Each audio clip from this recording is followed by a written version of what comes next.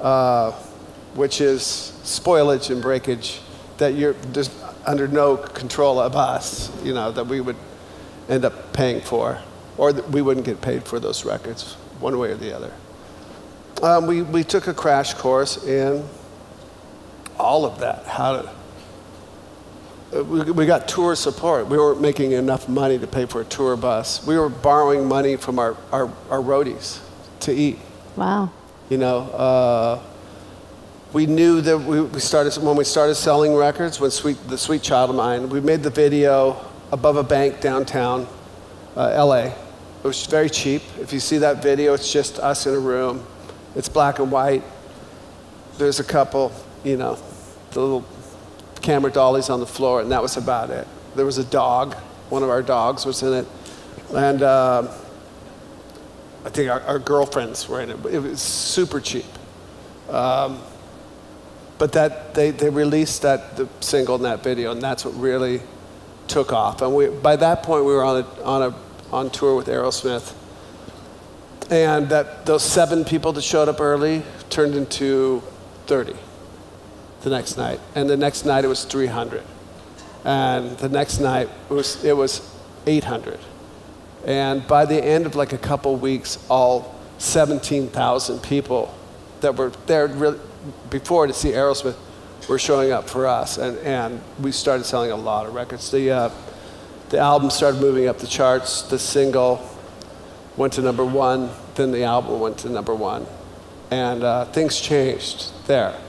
So, what exactly happened on that tour that made Guns N' Roses attract so many fans, in addition to the actual album sales? So, as Joe Perry later recalled after touring with Guns N' Roses, he said Guns N' Roses were really different. They had to, they dug down a little deeper into rock's roots, and I heard a lot of Aerosmith in them, which meant I also heard a lot of bands that came before us. And I remember being a little bit jealous because they were really hitting the nail on the head, and part of the thrill was wondering what Axl was going to do next.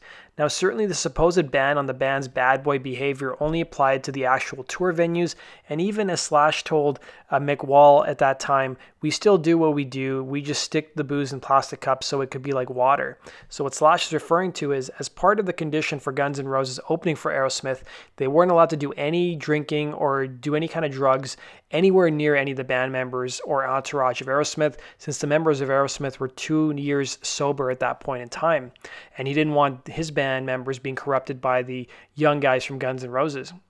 Now, Slash also went on to say when he came into the dressing room one night after a show, and he basically found the singer Steven Tyler examining the near empty bottle of Jack Daniels on the table, he admitted he was so embarrassed. Steven looked at me kind of, you know, and said, Did you drink all this before you went on stage? I had to kind of hide the other bottle of Jack I'd taken on stage with me. Now, Doug Goldstein, who was also working with the band at the time, remembers the tour was really no different to any of the others in terms of having to deal with Axl and Slash. He described arriving at one hotel and being told that the band's rooms had, all, had basically all been canceled. I told him, look, no problem, just call Vanessa, the name of the hotel manager, and tell her we're going to be pulling the bus up to her house and that 12 of us are going to be sharing the bed with her. So this old gal goes into the back and this big, heavy Italian looking guy with a mustache and a tie comes out and says, which one's Mr. Goldstein? I'm like, wow, we're really going there? So the guy tells Doug Goldstein, look, you're going to get in your room at 3 o'clock. You got an effing problem with that. So Goldstein snaps. He said he grabbed the guy by the tie and he pulls him halfway over the counter. He tries to reach for my phone, so I tighten up his tie and he's turning purple on me. And I go, You're going to and die before you get a hold of the cops. I suggest you get your fat Guido ass back there and get me my goddamn keys. So turning to one of the band's security team, Todd, Doug told him, go put Slash's luggage on a trolley and get him up here now. He goes, What? I go, Just F and do what I said. So he goes downstairs and he brings Slash, who's obviously passed out. He's literally upside down and his head in his luggage bottom, and his legs are dangling over the top, but he still has the bottle of Jack in his hand. So Todd rolls him up next to me to the front desk, and there's like 50 people waiting to get to their rooms. The general manager of the hotel comes out and he goes, Hey, you guys got to get out of here. So basically, at the end of the day, Doug Goldstein was able to get the room keys in about two minutes. So he says I put Slash over my shoulder and we go to the elevator and I'm riding up about eight with eight guys in business suits and Slash starts urinating down my back. I was like, mother effer. I drop him on the ground and the guy's laughing at me. I turn around and I go, what? He goes, look, I don't want to get you pissed off at me, but I've been watching you since you walked into the hotel. I don't know what they're paying you, but it can't be remotely enough for what the hell you have to put up with. So the elevator doors open up and I go, yeah, thanks for the observation. I'm literally pulling Slash down the hallway by his hair because I don't want to have to pick him up by his peed pants.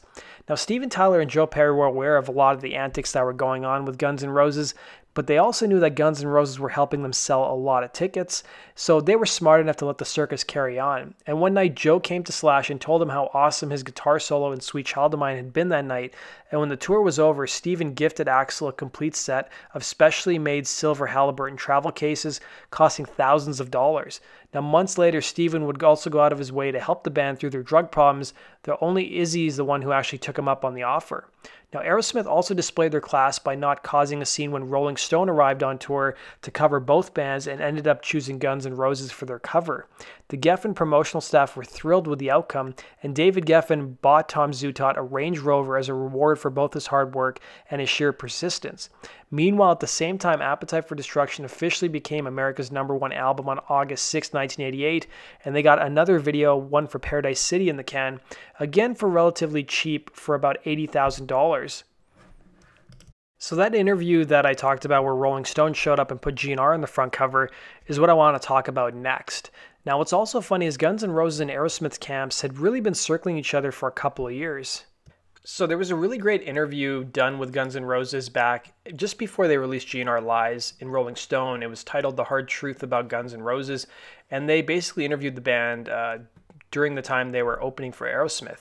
And this is when we started to really see Guns N' Roses break big. If you've seen a lot of the interviews the guys have done over the years, they said that even though they opened for Aerosmith, a lot of the kids were really coming to the shows to see Guns N' Roses who were just about to hit their meteoric rise. Now, Guns N' Roses and Aerosmith have a bit of history before they even began touring together. So, Aerosmith's manager, Tim Collins, at one point was offered the job to manage Guns N' Roses, but he basically turned them down. So Tom Zutaut, who was working for Geffen at the time and was the guy who discovered Guns N' Roses, invited Tim Collins, who was Aerosmith's manager, to see the Gunners play in LA.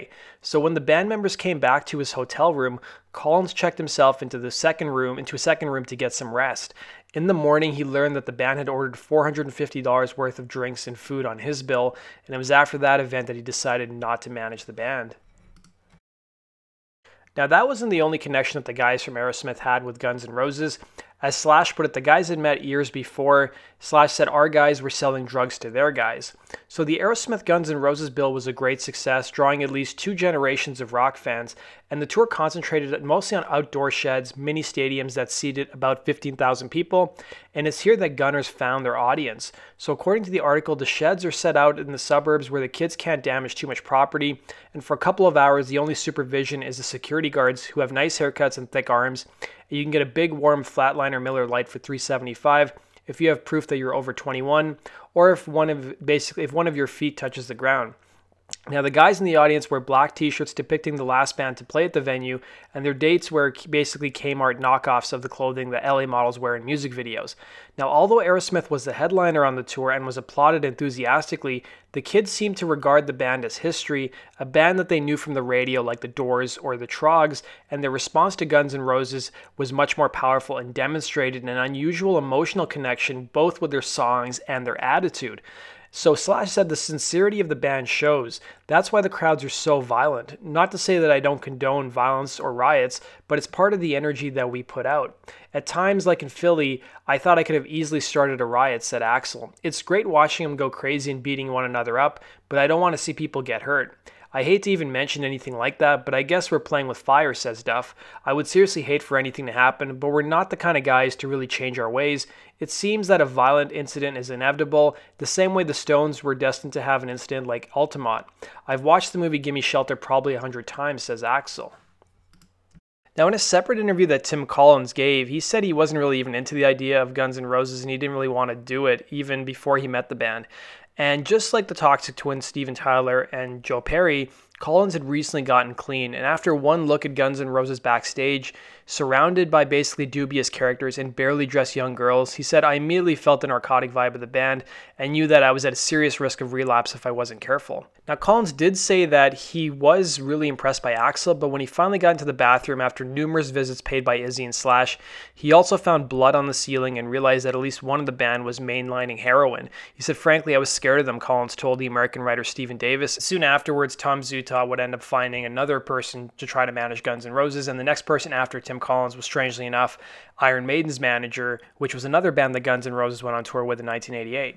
Now, their paths would cross not too long after that, Aerosmith was about to be touring Europe, and Tom Zutaut told Guns N' Roses then manager Alan Niven to keep the band out on the road, keep them working, and so when they had a chance to jump on the next Aerosmith tour, go to Europe. And it seemed like the perfect marriage of bands, and really a chance to repeat the trick of building buzz overseas that could use that could basically use when Guns return home. The only problem was Aerosmith would end up canceling their tour of Europe at the last minute, and according to their co-manager Tim Collins, the last straw was when Joe Perry told him he'd once bought heroin from Izzy Stradlin. So with Aerosmith's newly found sobriety only ever one drink away from cracking, and the band finally achieving all of the commercial success that their habits had denied them for a decade, he wasn't taking any chances. And meanwhile, the band's new album Permanent Vacation had come out at the end of August and looked to be their first major hit since the 70s, and the European dates were scrapped in favor of a gargantuan American tour now slated to begin in New York on October 16th. So that does it for today's video, guys. Thanks for watching. Be sure to hit the like button and subscribe, and let me know if you guys went to any of those Aerosmith Guns N' Roses shows back in 1988. Thanks for watching, guys, and have a good one. Dizzy Reed from Guns N' Roses, and you're watching GNR Central. Yeah!